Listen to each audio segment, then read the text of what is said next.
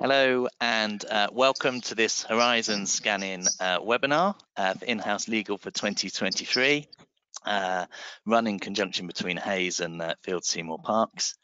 Uh, so thank you very much for attending. Um, just by way of some brief introductions, um, my name's Ian Machray and I head up the business services uh, team at Field Seymour Parkes.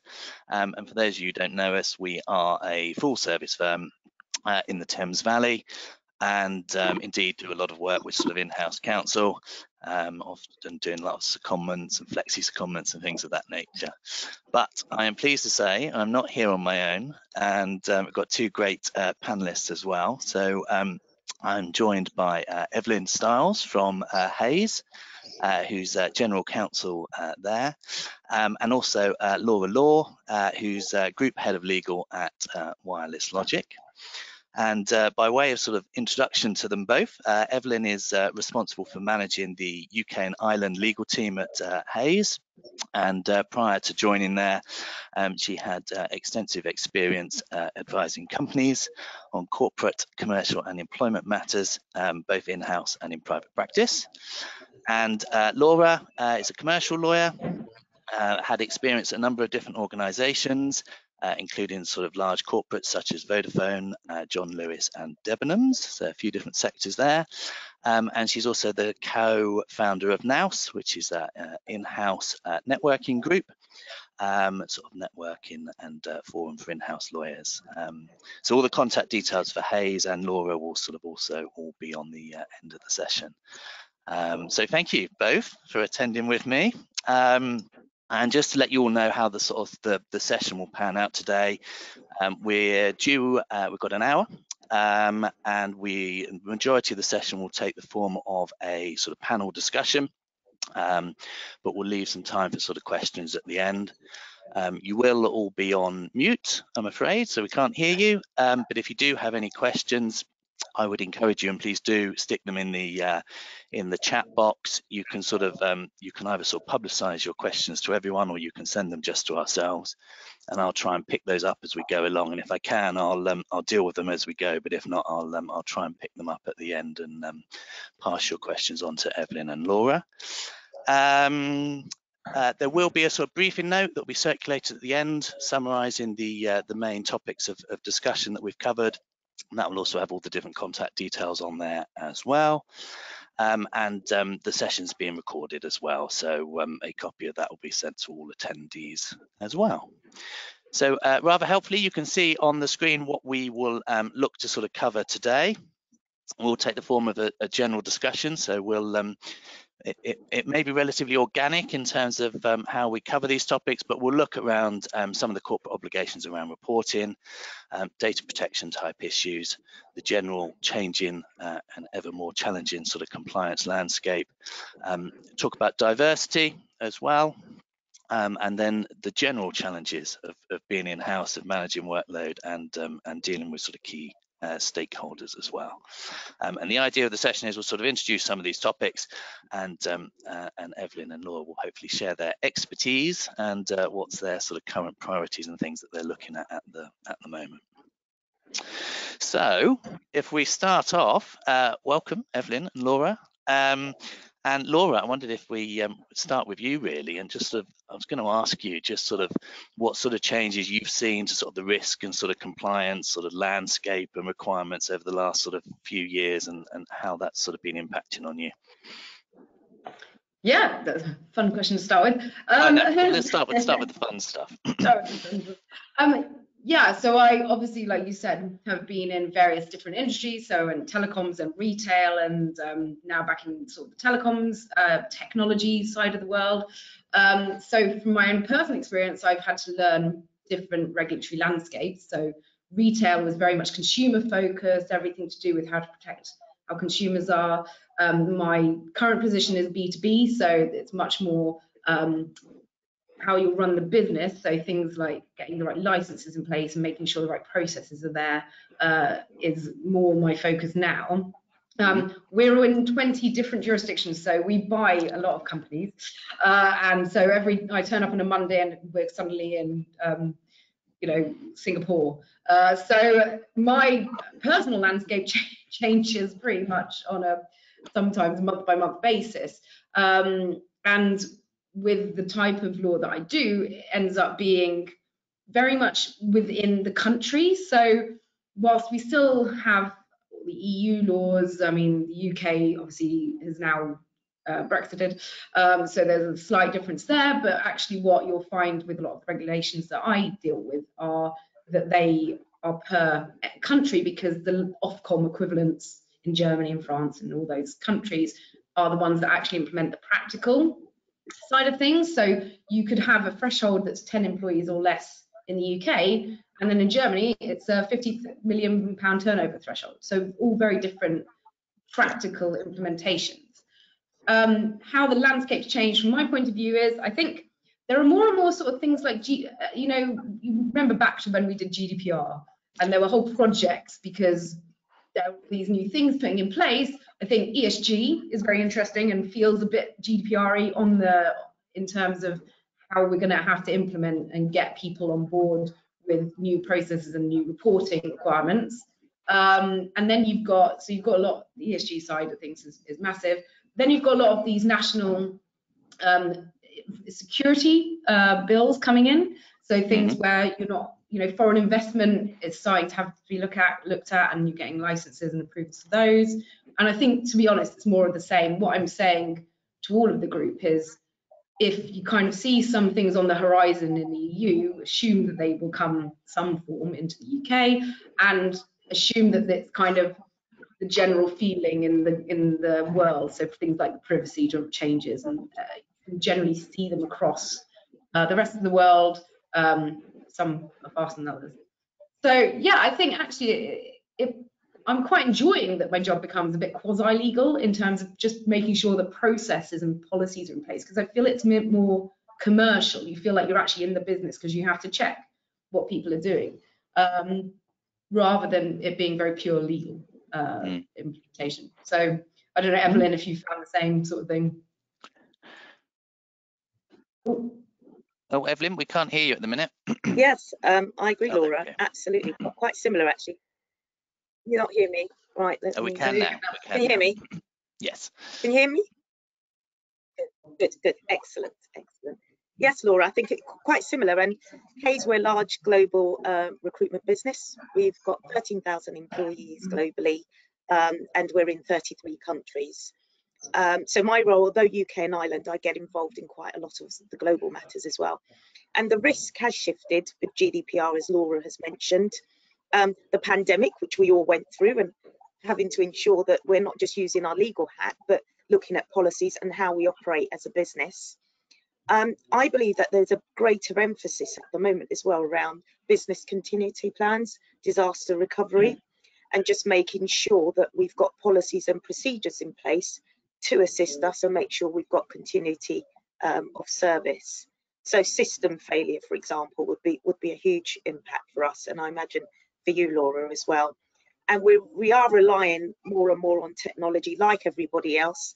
Pandemic being a great example, 100% of staff working remotely. That's 13,000. And in the UK alone, we supply 25,000 temps as well to various clients. So again, ensuring that they, the ones who could work remotely, um, continue to do so and have the systems to be able to do it. Um, Cyber security th threats, again, I think that's something that's increased over the years. So we've seen an increase in um, phishing attacks, social engineering and malicious codes um, being reported. Um, and then lastly, and I think this is probably more recent that we all keep on talking about, is the high inflation rate, which has impacted many companies. Um, and in the UK alone, as we're all aware, in 40 years, the UK seen its highest inflation rate, 10.4% as of February 2023. And that has an impact on um, retention of staff. So what we're seeing is we're closely monitoring that as a recruitment business for our own staff, but externally for our clients as well, to make sure that from a pay perspective, we are retaining the absolute best, best of staff. Oh, great. Yeah, and you're right. And I was, Evelyn, I was going to say ransom we did a ransomware exercise, for example, and I went on a governance Yeah. forum last week, and everyone in the room is that's one of their top scary uh, things. Um, Yes. And like I said, it is about the processes though, because in the ransomware exercise, we realised that no one had a phone list of everybody. Um, so- Yes. but it was on the system that could we had got hacked. Um, so it's all purely little things like that just seem to be lost. Um, and it's only when you sort of tread through it that you kind of see things. But they're interesting exercises, I think. They are indeed. And ESG, of course, cannot forget ESG. Yeah. How much would you say in, in, in terms of obviously variety of different areas there, some probably sort of business driven, some maybe client or customer driven in terms of expectations, and obviously there's the sort of the, the legal underpinnings as well. What's what are the main drivers in, in these sort of compliance requirements? Where what where's it coming from in terms of the these areas that you're looking at? um, Evelyn, maybe start with you. Okay, all right, yep. Um, I think at the moment, in terms of um, how it's impacted my role, um, it's not necessarily just looking at the legal side, it's advising on, on the business and the commercial and considering ethical matters as well. So whether a business decision may um, represent a potential long-lasting um, risk to the viability of the business is something we have to think, and whether we're doing the right thing. And a great example has been for us, um, we we had an office in, in Russia.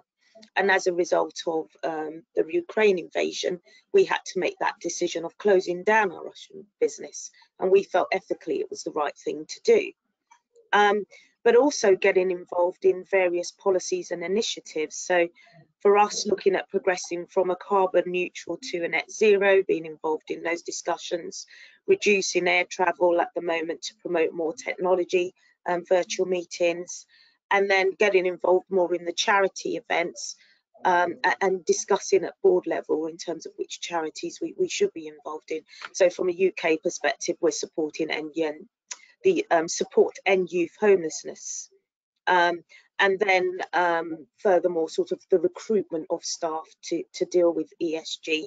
Um, in the past, we probably wouldn't have imagined having to recruit somebody to look at specifically as a project on ESG, but that's something that we, we've been involved in as well, and, and I've been heavily involved in the discussions.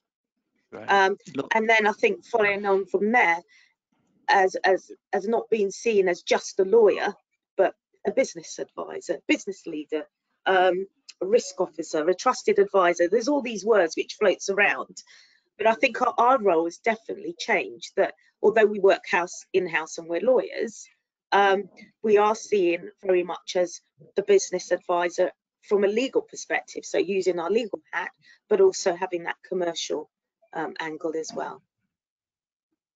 Yeah, I totally Laura, agree with that in terms of the done? Yeah. business. Yeah, um, it, it, they don't want to know the the legal in-depth stuff, but they do want to know what they should, you know, what they should be focusing on and stuff like that. So when I first joined, this is a startup company. Um, it's not anymore. Well, calls itself that, but it's, it's got 500 employees, and we're a unicorn, which I think is um, when you have over a billion pounds uh, in turnover.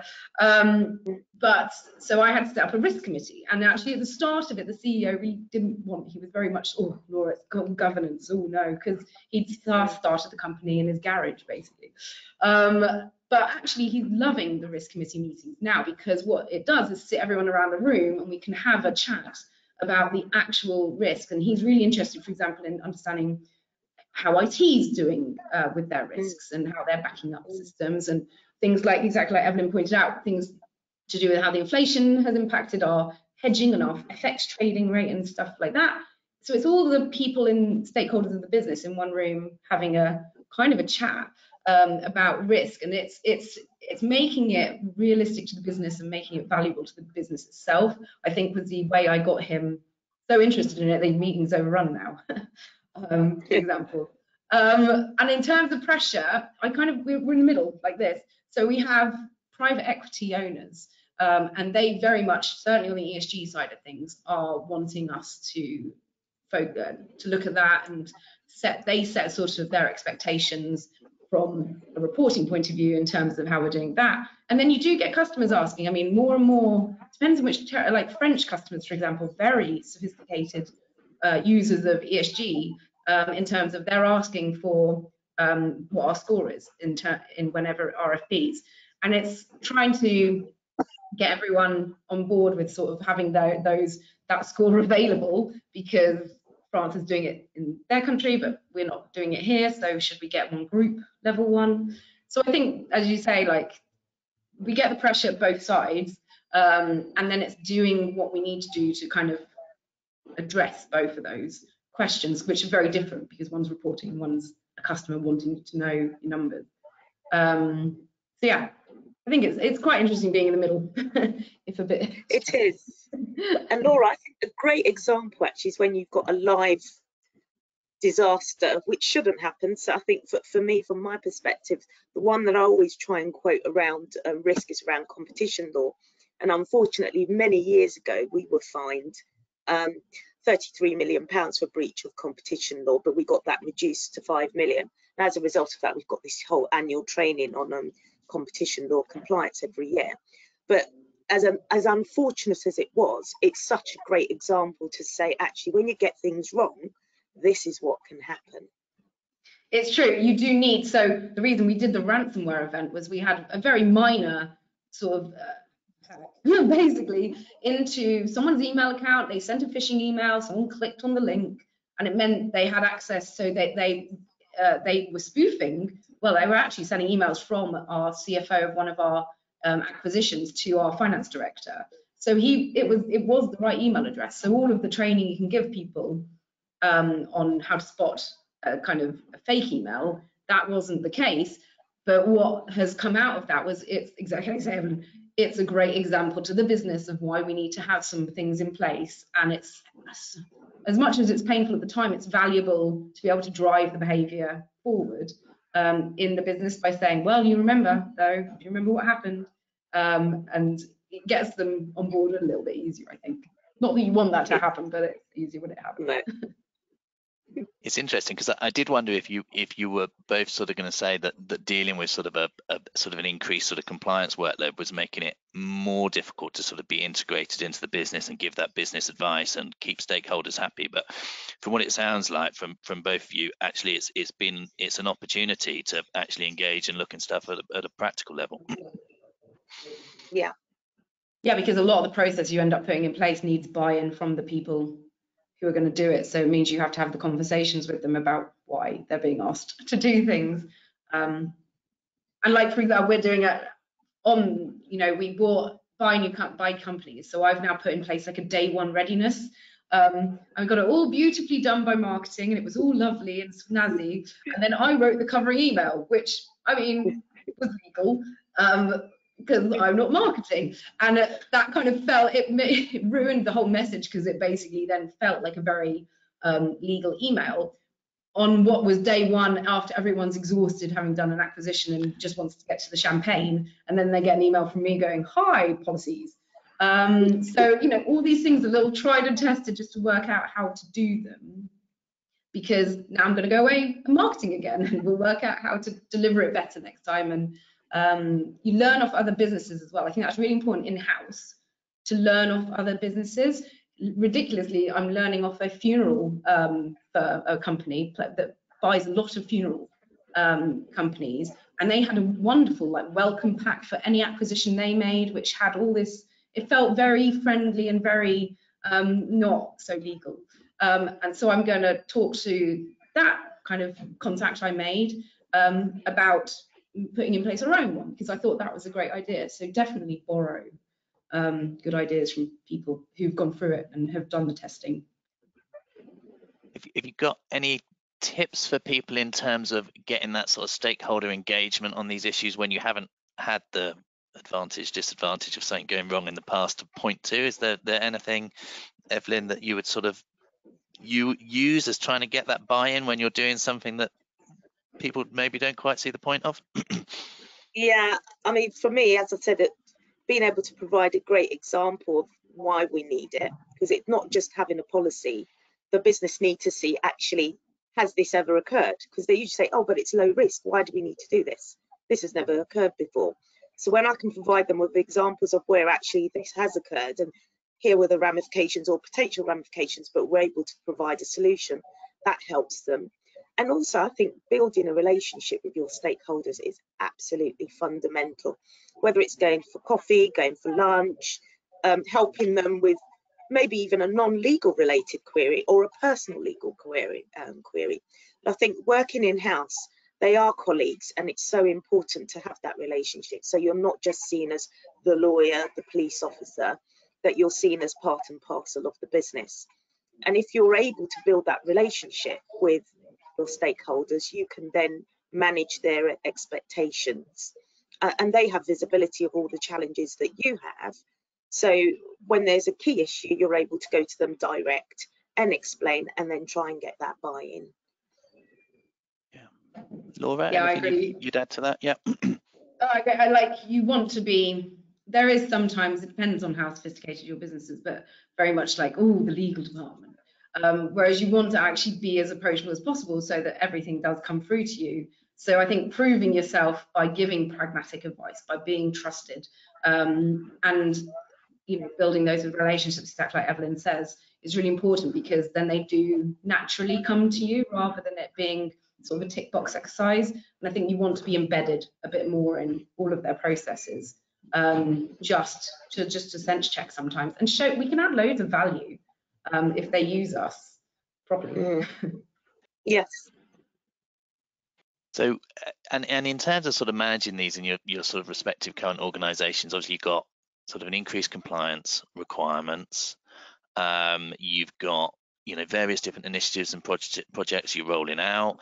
You've got a wish to be in the business, to be approachable, to stuff to cope. How how do you cope with that workload? Obviously, you've got slightly different organisations between the two of you, but but Evelyn, maybe starting with you, how how have you managed that? Is it about building a structure, a team? How yeah. Yeah, for me, very much it's a case of building a structure and a team. So when I first joined Hays many years ago, we used to outsource quite quite a lot of things. Um, and what I ended up doing was bringing some of the matters like employment law, some of the general commercial matters, bringing them in house and building a team to be able to assist me with those with those matters. Um, and then as the workload has increased, we still haven't had enough individuals with, within the legal team, enough lawyers to assist. But then the budgets, you're always constrained with sort of budgets, and it's a case of right, you're not going to get any more lawyers because budget's tight. So how can you possibly progress?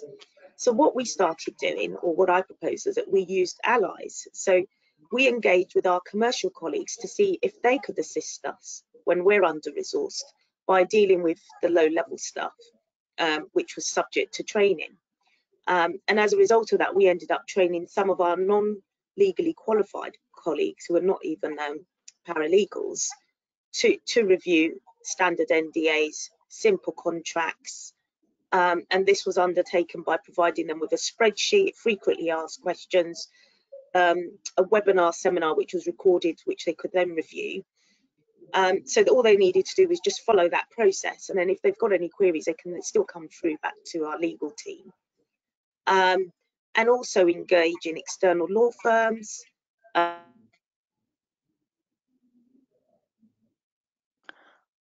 um, just to provide us with regular updates so that we're all equipped with the knowledge to be able to advise the business. But, but having the sort of the allies, I think, and engaging your own colleagues who are not legally qualified is absolutely essential to manage the workload. Great. Laura, how did slightly like different these experience maybe? yeah, I like Allies is good, yeah. allies, like, education is a large but educating the rest of the business is a large um, part of what i'm trying to do because exactly like you say evelyn is trying to get them to help themselves um, and pointing out so i'm there's a team of one at the moment i'm one uh, but i'm hopefully getting two trainees and that would be great um, but yeah at the moment it's very much for you know the sales section of the business teaching them what they can say to customers so saying okay these are our standard terms what are your five top concerns if they are wanting, don't not just blindly sending, you know, the word version of our T's and C's, and to explain to them why that is, or to show them the delay and the extra work that has to go into it when they just do that.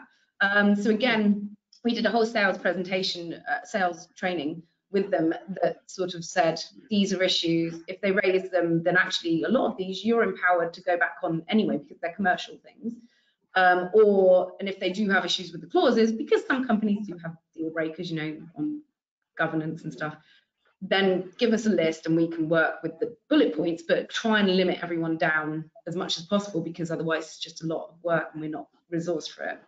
And then I think Evelyn made a good point as well again about setting expectations. So on the flip other side, I've had to basically put an out of office that says it's a one to two week turnaround right now because it's only me as the resource. Plan accordingly. Mm. Um, and I'm hoping that again is driving behaviour um, of people not sending me things that are urgent that aren't, or just at least planning it in to when they know things are on the horizon. Um, obviously, if something is urgent, we'll do it, but it's just making sure that everyone's kind of, if you start out setting the expectation, then they can't really be that angry at you when they come to you and want it tomorrow, and you've said it's about a two-week turnaround at the moment for general work. So yeah, it's, it's again, it's adapting with what you've got. Um, at Debenhams, I had like a team of five, and we were all doing the work, and it was great. And whereas here, it's sole job, so you've got less capacity. You have to kind of prioritize um, what you do, and then it's teaching the business how to use serve themselves before engaging legal, really.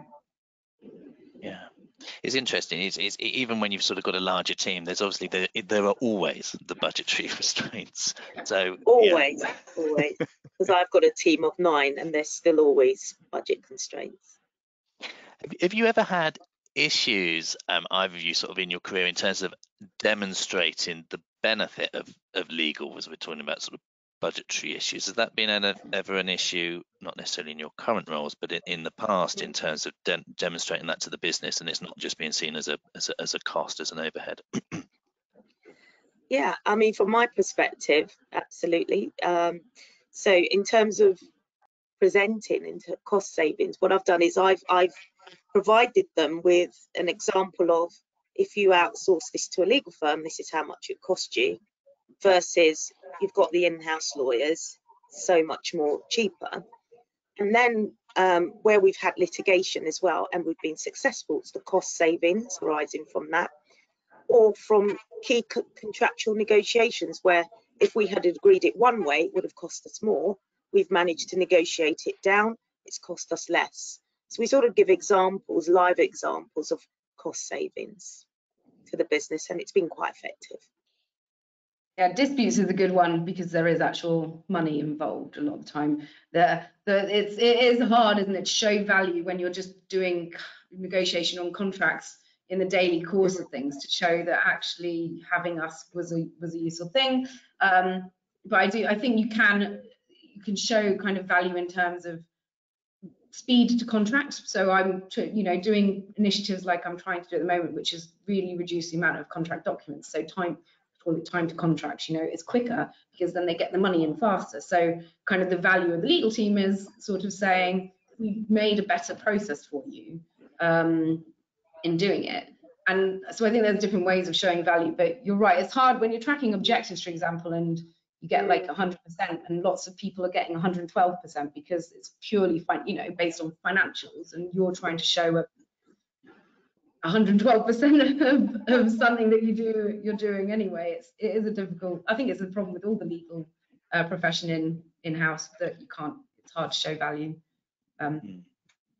from a numbers basis No, absolutely.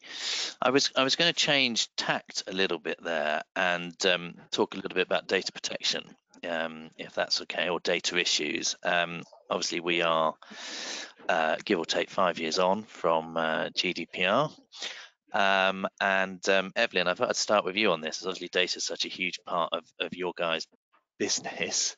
Um, I just wondered if there were sort of particular things or, or how things have developed over that period in time or, or lessons learned in, in, in terms of how you've how you've done things since that sort of big bang for a lot of people five years ago. Yes, absolutely. Um, so for us, the biggest change was that because we are in 33 countries, it was setting up a specialist GDPR working party, as, as we call it, an internal one. And that was gathering all of our legal colleagues globally so that we could have a data protection committee which agrees policies which can apply across all jurisdictions with some minor amendments based on, on local legislation.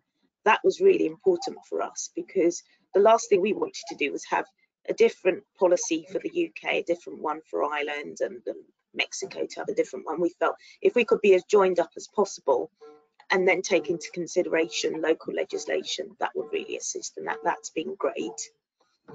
Um, and then the other thing that we've done is we've changed our annual online data protection training program. So previously it was just a really short data protection, but as a result of us seeing increasing queries coming through, we felt that it was probably quite useful for us to expand the online training and to do so where we're providing a lot more examples um, rather than I think individuals when they sit in that online program they find it quite dull if it's just regurgitating the legislation. So being able to provide sort of scenarios of okay what if this happens or you know if you lose this um, they found it with sort of interesting pictures and things like that. We found it um, much more um, embracing. Our privacy policy we've had to regularly update. Pre-GDPR, I think it was just one policy that was drafted, tucked away, and we never thought about it ever again. But with data protection legislation, because it's constantly evolving and our processes are constantly changing um, yeah. with how we operate, um, we have to regularly review and update our privacy policy. And actually, the last one was just updated in, in um, on Monday for, for the UK and Ireland business. Like most businesses, I'm sure we've encouraged a paperless office, which has been much more easier as a result of the pandemic. Um, Pre-pandemic, I think people are finding it quite challenging because it's still very much the old-fashioned way of operating, printing documents and walking across to meeting with large documents. Um, but, but now it's so much easier for us to encourage that paperless um, office. Um, and we've enhanced our IT securities as well as a result of that. Laura, obviously less data heavy as a as as a business, but obviously you've got various international uh, uh, international different jurisdictions. Um, any sort of particular challenges that that sort of the data protection requirements cause you or your organisation? Yeah, I mean, it is nice to not. So our data really are SIM card numbers that would not make any sense to anyone. Any, they're all pseudonymous data. It's um, and it's a welcome change from Debenhams where you're dealing with a lot of customers uh, and their subject access requests yes. and all that jazz fun stuff. Um, so not so much of that anymore. Um, we have, I think, exactly like Evelyn says, it's actually more, from my point of view, about educating relevant examples um, in the business. So we often have all of our sort of data incidents are things like a user error. So someone sent it to the wrong email address um, and all those things. And yeah, leaving documents lying around the office or, and it's making, if you make it relevant to them, then I think they're much more engaged rather than watching a system. So that from a jurisdiction point of view is one of the kind of due diligences you can do when across all of our portfolio, which is to really send them very re reasonable and relevant data uh, kind of training and also contacts if they have any questions and making the whole process very easy, user friendly. Um, so our data incident reporting tool is, is like a really short form on our intranet, for example, but it comes through to me and it'll, it'll ping up and then I can just deal with it um, instead of making them, you know, fill out anything really full. Um, but you're right, it's a challenge. with the problem is the acquisitions. It's always a challenge because everyone's got different uh, kind of how, through the scale of how good they are at the GDPR. And a lot of the businesses were startups where that they've done like really minimum level. So you kind of got to put in place that some starting from scratch is actually probably easier than where someone's got kind of a process that's not great, but it's in there embedded anyway. Um, so it gets getting them on board to see the value of what you're sending them, that it's not just a training policy and explaining to them why they would need to do what's, you know, the risks of it and why they you want them to all be compliant with the sort of group policy um, level.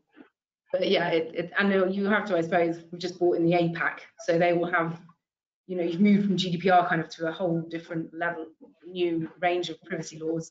Um, Evelyn, you're probably dealing with those already, but like, yeah, it's yes. to us, it's sort of upskilling um, in that. No, great. And and and Evelyn, I was, and this may be where your sort of your working party comes in, but uh, we've certainly seen a lot where sort of um, you know a lot of stuff was introduced five years ago. Um, to a certain extent, it's been kept under review, but but as and when it's you know properly audited, there's a the reality emerges that actually the practices are not matching up with the policies. How, how do you as an organisation try and ensure that people are actually doing what they're meant to be doing and what you say you do? yes. So again, it just goes back to the training. So we're always constantly training. Um, we provide our own staff with the ability to be able to contact us about data protection queries. So we've got a separate UK data at hays.com, which is an inbox which is sent through via um, candidates, for example, if candidates have any queries about their um, files and they want to um, actually erase their data or if they've got any questions about it, then they need to go through to this inbox. Internally as well, we've got our own internal inbox where individuals can contact us and we can advise them on any data protection queries. What we've found increasingly is where we feel employees require training, um, we tend to then provide them with bespoke training outside of the online training, which, which I think that's really imperative and, and quite helpful. So it's not only just the annual online training, there may be bespoke um, face-to-face or webinar trainings for certain individuals where we feel that they just need a bit more upskilling. No, great. Laura, what about yeah, your sort of experiences? well, like I, I, would say probably, yeah, tra the training is the key thing. Um, with as, a, as an in-house lawyer, you're always adapting, aren't you, to whatever business you're in. And so now I'm in a telecoms business that has networks, and so actually had to suddenly set up a process of dealing uh, with um, Investigatory Powers Act ones. So that's where the police want call records because they're usually investigating. It's, really, it's quite, it's always quite exciting because it's usually they're investigating like arms dealers um, that have got and, that, and they want access to the data records to help arrest people and or prove evidence. So again, that was done quite ad hoc. So you're putting in place the processes so that again, it's easier for people to quickly answer those questions, but you know that they're coming in. And exactly like Evan says, it's training the right people. So only a couple, no, not everyone gets those only a few people, but those people need to know the enhanced, extra, you know, dealings with the data or the requests that they will get.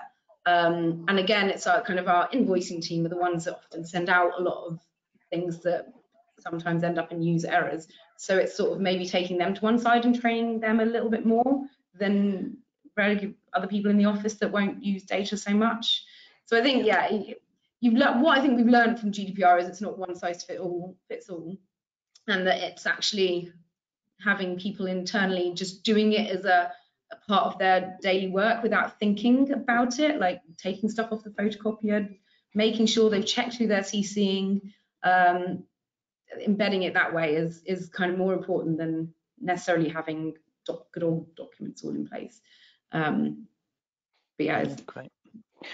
I've got um, question here, which is about the uh, the the changes in the current bill. So we've got the, the, the data protection and digital information number two bill, very catchy name, um, which I think has gone back um, for a recent reading. I think only within the last week or so. Um, the question is really just to what extent either of you are already planning for those changes in that bill, or is that it's obviously still quite a way away because we don't have, you know, the act has yet to be passed. There'll be then an implementation period, but just wondered to what extent that's already on your radar, or is it one for another day? yeah. So from our perspective, it's on our radar because we've engaged external lawyers to advise us on data protection. Um, and we actually went through a summary of it and we determined actually it wouldn't really impact how we provide the services because we will continue to be just as stringent um, even if the UK decide to relax the, the legislation because we are a global organisation. So first reading appears to be fine, but we don't believe we'll be changing anything significantly in terms of how we operate from a UK perspective as a result of us being a global business. Yeah.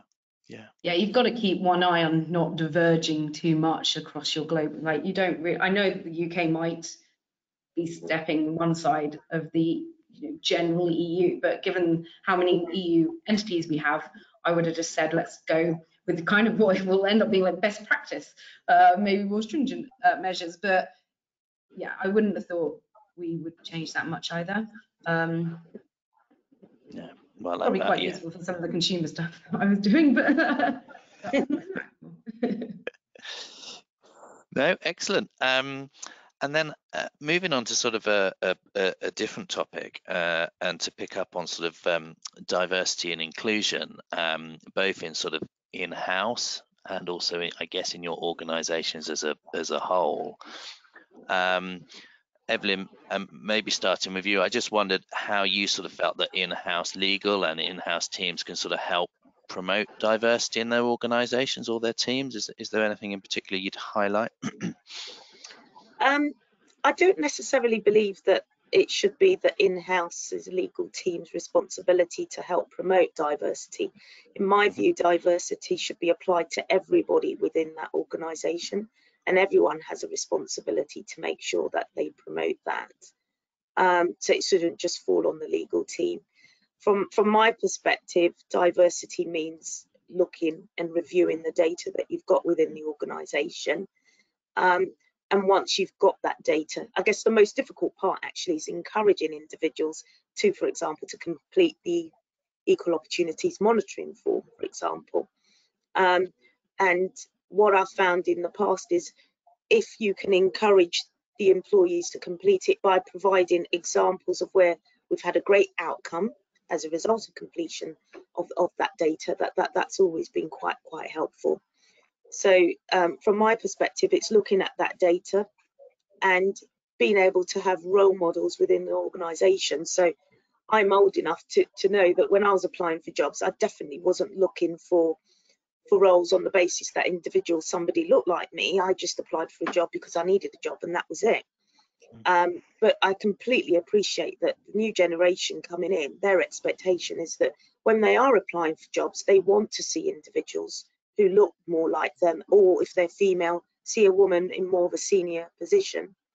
Um, so promoting that diversity within that organisation isn't necessarily just having the policies in place, Mhm. but actually being able to show, have visibility of, of that diverse.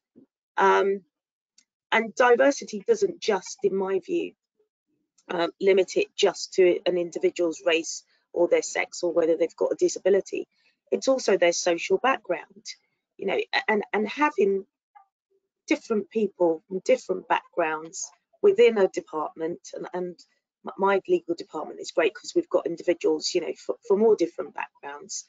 Um, it's a great way of sharing ideas, sharing knowledge, because individuals can come back with different ideas rather than engaging individuals from the same background who have exactly the same idea um, doesn't change anything. Um, one other thing actually that we've done within our organisation is to provide training on consci- unconscious bias training. Yeah. And if you're able to do that for bespoke individuals, particularly line managers, that's so important. Because one thing that you could say to one individual, you may not pursue it as being offensive. However, another individual may do.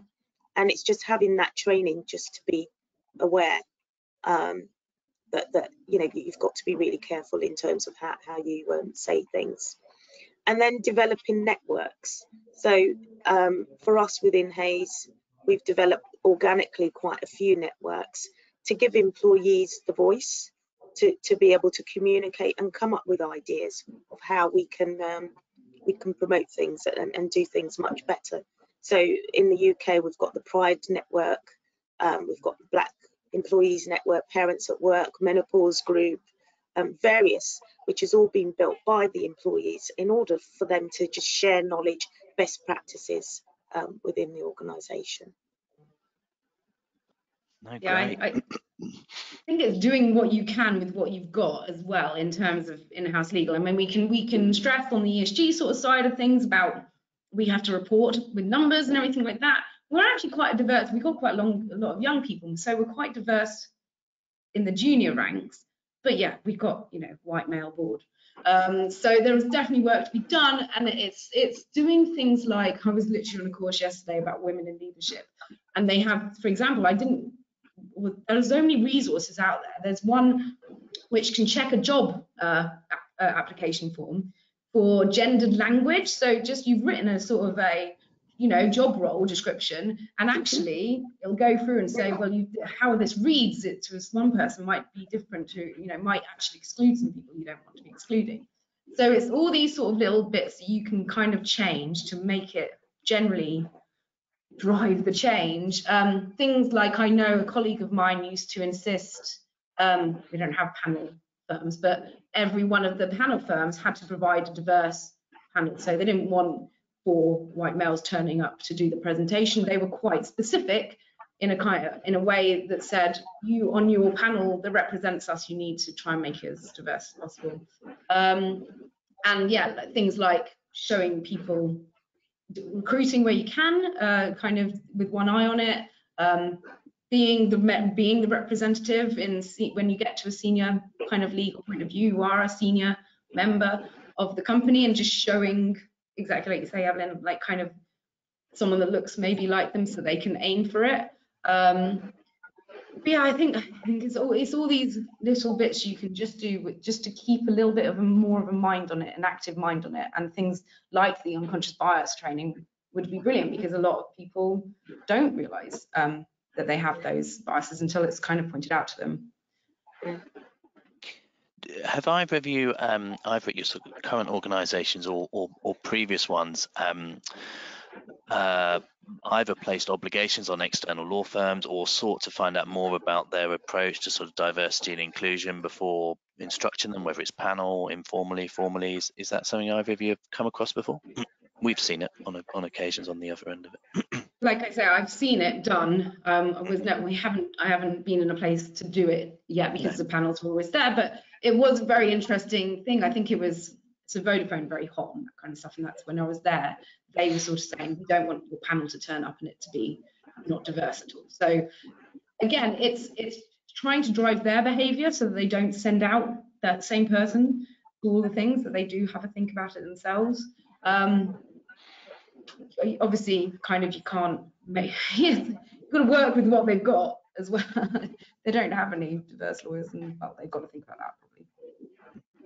Evelyn, what, what about you? Have you had any experience of that or? No, I mean, I've heard about it, but I haven't had any experience because similar to Laura, we've got an existing um, panel list.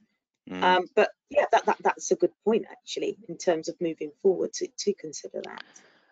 I think um, the, the, the rationale we've had for it when we've sort of been asked about it has been um, not only about trying to ensure that you know suppliers, the organisation are, are, you know are promoting diversity and inclusion in their own workforce, but but also particularly with in-house legal that obviously the route in-house legal often comes from private practice. So people you know start in private practice and move out. So it's it, you know if if if there is a lack of diversity in private practice, there is a risk that that spins into a lack of diversity in in in-house roles in in future and I know some people come come straight into in-house, but um, but yeah, it's um, it's sort of an interesting area, and sort of we've been asked sort of different things by sort of different organisations, but uh, yeah.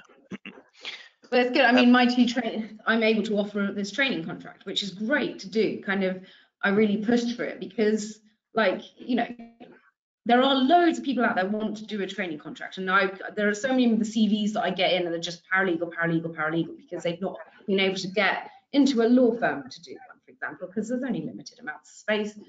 The more I think in-house counsel sort of um, push to get trainees straight into that straight in, it gives another route. And certainly on the social mobility side that Evelyn kind of talked about, it was yes. that it's really helpful because these, you know, mm. that is the way in. My my intake at law firm was all Oxbridge pretty much, apart from a couple of other, you know, and red Redbrick. So um, I'd much rather have a bit more of a diverse people and just people online, it is very easy to be a training provider um, as an in-house lawyer because certainly with the SQE stuff now, it's made it a lot more easy, easy internally to do it. But I was doing it when it was training contract, so it's not. I know it seems like it might be something that's very hard to, to do, but actually, it wasn't that much to get the authorization and to just put in place. And with the work we do, they have a full seat. I mean, they don't end up having to do corporate commercial because they just do they do Monday and they've pretty much ticked their seat off uh, all of the seats off.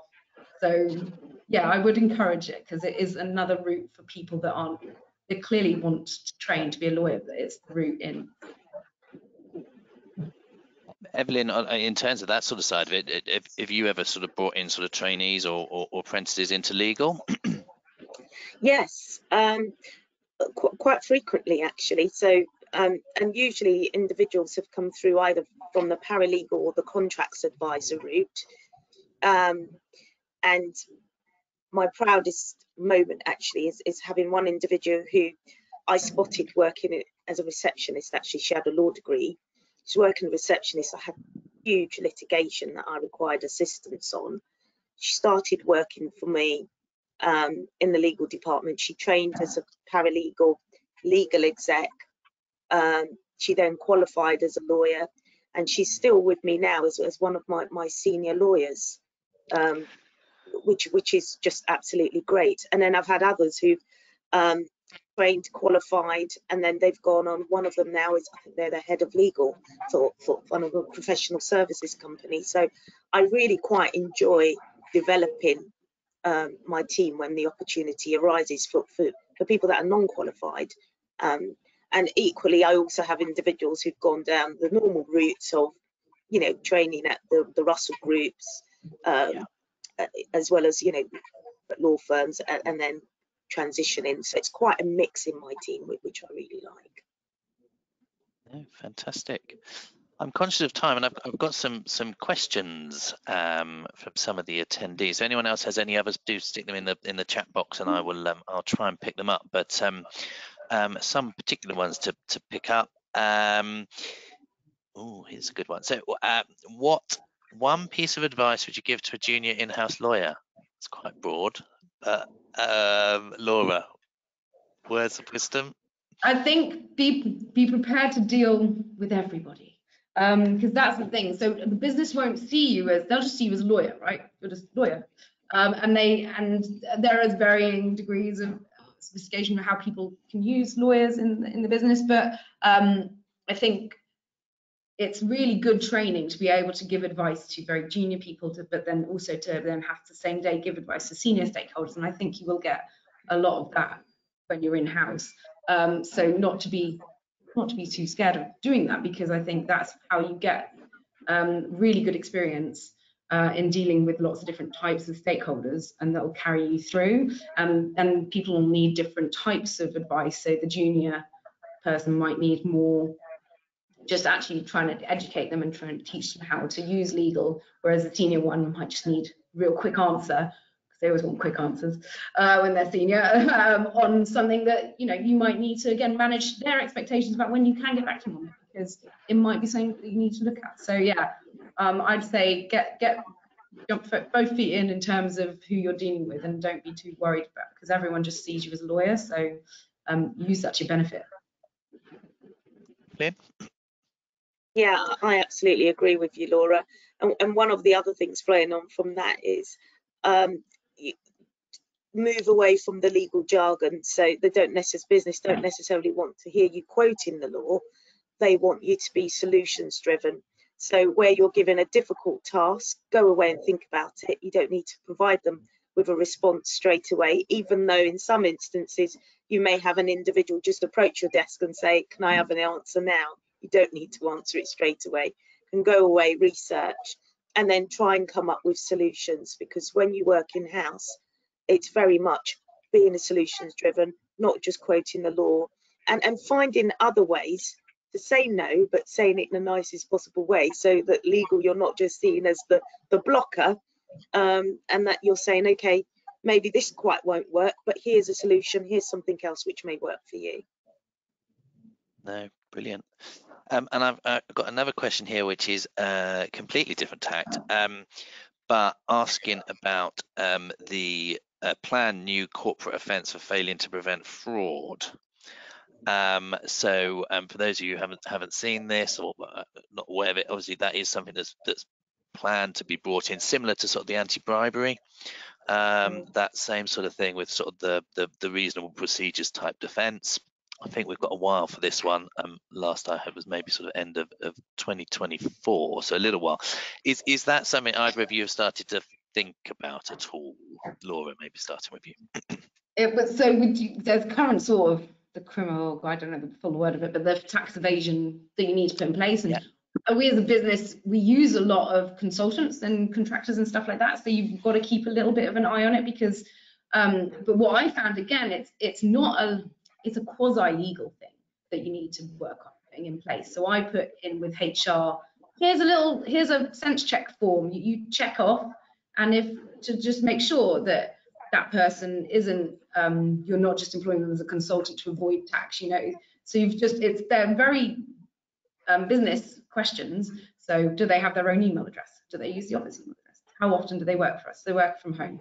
Um, so sense check and then it's all about due diligence exactly like you said in like defenses. So it's getting that sort of process in place with the buy-in from the right part of the business um, so that you've at least ticked you know the boxes that you need to to have something on record um, and then you need to work on how to embed it and make it part of the culture um, so those all those sort of things like anti-bribery and tax evasion and fraud um, are pros about processes which is a, a quite an in-house thing to do i think which is is nice because you do end up working with all the business to get it in place Yes, yeah. Evelyn, what about yourself? Yeah, yeah, I absolutely agree with you, Laura. I don't think I've got anything to add other than you you would work with all the different departments, HR, tax, your business lead, um, to make sure you've got a policy in place, and then part of that we would then roll it out as an annual um, online training. Yeah. I think it, there's- obviously it's been a bit of a sort of theme as we've sort of been chatting thing through in that in that some of these sort of requirements, um, whether they're sort of legal or, or compliance or business requirements, they're all potentially an opportunity for you to engage with different bits of the business, um, which is um, obviously crucial, to sort of getting that buy-in.